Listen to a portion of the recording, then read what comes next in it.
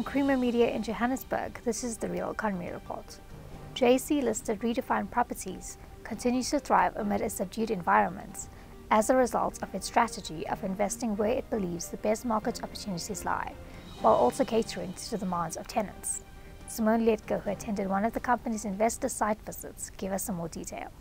During the investor site visit last month, Redefine Properties commercial asset manager Pieter Strydom spoke to Engineering News about how, in a continuous attempt to regain investor confidence, this event forms part of its long term rollout in terms of engagement, while also speaking to its investment strategy. We actually regularly host these events on an ongoing basis covering our various sectors, commercial, industrial, retail, and just general investor engagement. So it forms part of a, a long-term rollout that we have um, with engagement of our investors, keeping them abreast of how we spend their money, where we invest, what we do, and how Redefine plans to show continued growth um, for, for what they're actually trusting, trusting us with their money with. Um, in terms of the achievement is really retaining investor confidence. Redefine really needs to on an ongoing basis make sure that people are comfortable with what we do in order to ensure that they continue to invest their money with us um, going forward. In terms of Redefine's strategy on the commercial sector specifically, um, over the last few years we have endeavored to rationalize um, our portfolio moving away from investing in secondary assets. So most of our investment goes towards um, AMP grade assets, which is pretty much exclusively the assets that you'll see today um, on the tour um, and making sure that our portfolio is high quality, uh, high value. So we're also looking to increase the net asset value um, average in the portfolio through bigger, higher value assets going forward in core central nodes. He further elaborated on how Redefine's buildings in the Sandton and Rosebank nodes meet both the demands and the requirements of these areas, as well as those of the people who use them. I'm going to start with Rosebank. Um, Rosebank has, over the last few years, shown very strong demand for P grade and A grade assets. The major appeal of the nodes is really the accessibility of transport.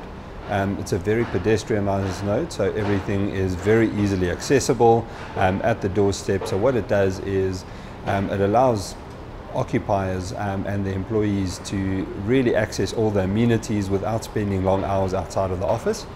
Um, and pretty much the Redefine assets that we'll um, look at um, and where our exposure is in the node is in the center of, of these development um, areas within Rosebank. Um, the building that we're in at the moment, Rosebank Towers, is less than 500 meters away from the Gautrain. Um, premium grade asset, very efficient building designs. Um, we're going to have a walk across to Rosebank Link, it was nearly completed at the end of last year. Um, the demand in the node has been attested through 100% occupancy in the building as we stand. Um, premium grade asset, it's 20 meters away from the Gautrain access, so very easy access to public transport. Um, and obviously the retail offering that you'll see in the building as well. This has become a really key feature um, in building design going forward, making sure that um, the, the day-to-day demands of people are met uh, in terms of accessibility to food, shopping, without need, the need to actually travel too far from their offices as it stands, which is what Rosebank really offers. Sandton, Sandton has always been the business hub of South Africa. Um, it, the exposure in Gauteng sits at just over 1.6 million square meters of space in Sandton. Uh, Sandton obviously offers as the centre hub to all the legal and finance fraternities as well as global head offices. Um, that demand hasn't really diminished, although the availability of space has. So, although there is a, a bigger vacancy factor, the demand for premium grade assets, which is what Redefine endeavours to invest in um, over time, is, is still there. The vac- although the vacancy factor in Sandton sits at 16.7%, premium grade vacancy in the Sandton node sits at 7 um, which is a, a, key indicator of how in demand premium grade space still is.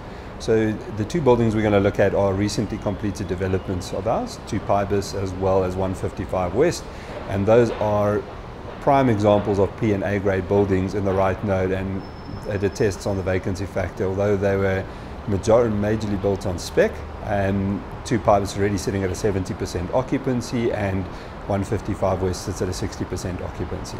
Keeping the tough South African environment in mind, Strydom cautiously gave Engineering News some insights into some of the trends that Redefine has identified, and whether or not he sees stabilization on the cards for the sector. I think we have to be very cautious to call it improvement. I think there will be a lot more stability, absolutely, but the, the economic environment is seeing quite a lot of changes. So I think the commercial market's going to remain tough.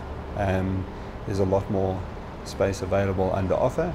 Um, it's going to be very difficult negotiating leases going forward, but the right product in the right place is always going to let well. So I think the demand for us as landlords is going to make sure that our properties remain relevant, of good quality, and our service offering is superior to everyone else in the market.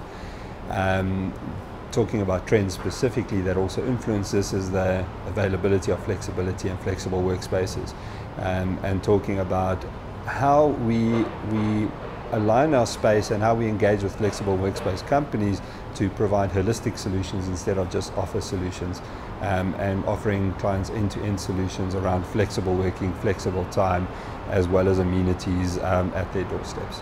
That's Creamer Media's Real Economy Report. Join us again next week for more news and insights into South Africa's real economy.